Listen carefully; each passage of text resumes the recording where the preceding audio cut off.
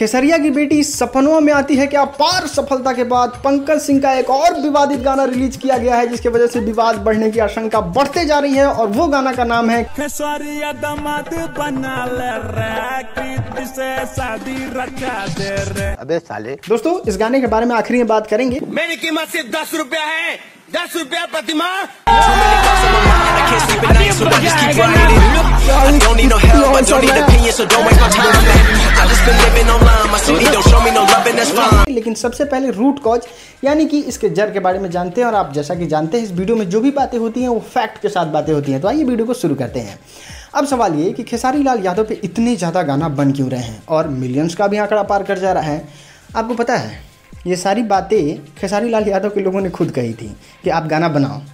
अब पंकज सिंह ने क्या गाना गाया था? खेसरिया के बेटी सपना है खैर ये गाने पे विवाद हुआ और उसने माफ़ी भी मांग लिया लेकिन माफ़ी मांगने के बाद विवेक सिंह और अखिलेश कश्यप पता है उसे जाए क्या कहें। उतना विवाद में पंकज का वीडियो चला है।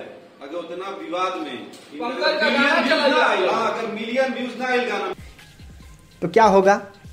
लोग गाना बना रहे हैं। अब पंकज सिंह को ना फ़र्क पड़ता है कि हाँ नहीं गाना गाएँगे। और लोगों को क्या फ़र्क पड़ता है भाई? उसको तो आपके कहे अनुसार मिलियन तक तो पहुंचाना ही है और वो लोग पहुँचा भी रहे हैं। तो इसमें अब कैसी सर अगर हम करें तो करें क्या बोले तो बोले क्या? जब मैंने इनसे बात करने की कोशिश की कि क्यों आप भोजपुरी फ़िल्म इंडस्ट्री में विवाद कर रहे हैं, क्यों इस तरह के गाने को अपलोड कर रहे हैं? तो उन्होंने, पता है मुझे क्या कहा? उन्होंने कहा कि खेसारी लाल यादव की ही बातों को हम लोग मान रहे हैं। खेसारी ने कुछ साल पहले ऐसा कहा था खूबसूरत चीज़ को कौन छेड़ना नहीं चाहता?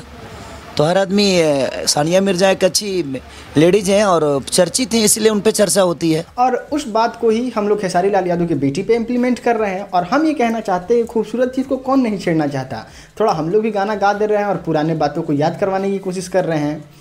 तो फिर वहाँ मेरा मुँह बंद हो गया। मैं इतना अच्छा सपोर्टर था, खेसारी लाल यादव का झंडा लेके गया था उसके सामने कि झंडा का डंडा निकाल के चार पाँच डंडा कस देंगे उसको। लेकिन तो मेरा ही मुँह बंद कर दिया कि आपके भैया ने तो खुद कहा था तो अब अब काहे मतलब दिक्कत हो रहा है आपको? मैंने कहा हिपोक्रेसी की भी सीमा होती है. अब सवाल ये भी है कि खेसारी लाल यादव, पवन सिंह दिनेश लाल यादव निरहुआ तीनों लोगों की बेटी पे, बहन पे गाना रिलीज़ कर रहे हैं सिंगर। इसका जड़ कौन है?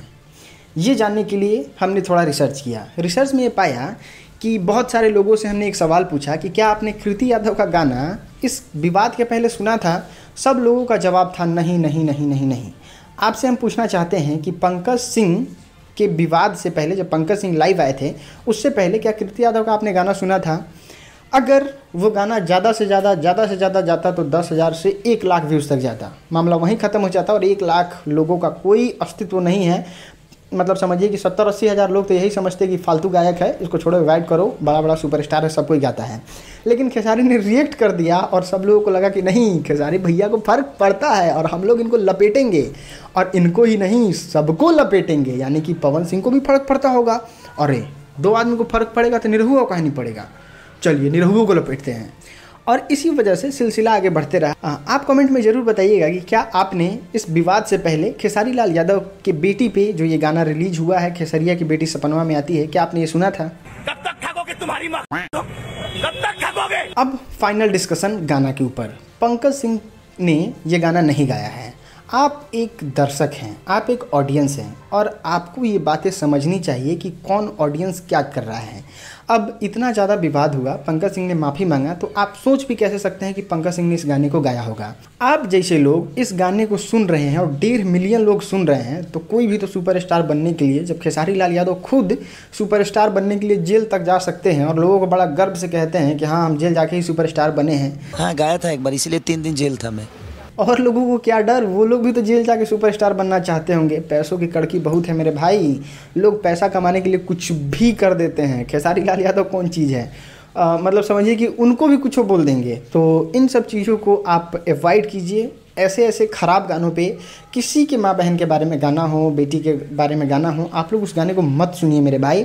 उस वीडियो पे ज़्यादा से ज़्यादा डिसलाइक कीजिए रिपोर्ट कीजिए और वो सबसे ज़्यादा बेटर है कि आप सुनिए ही नहीं। वैसे गाने को बस स्क्रॉल कर दीजिए ऊपर, बाकी सारा आपका भोजपुरी क्लियर होते चला जाएगा। खैर, ये कुछ फैक्ट था जो आपके सामने रखना ज़रूरी था, जो लोग सवाल जवाब कर रहे थे। हमें उम्मीद है कि वीडियो आपको पसंद आया होगा। ये है हमारा सोशल मीडिया लिंक यहाँ पे आके आप हमको फॉलो कर सकते हैं। आपका भाई राजन सिंह मुकुट फिर मिलता है आपसे अगले वीडियो में। तब तक के लिए दीजिए इजाज़त। नमस्कार। ज़िंदा तो हूँ, मगर ये जहाँ भी हाँ खाली सी लगती है। हम अगर दे दुआ भी तो उन्हें गाली सी लगती है।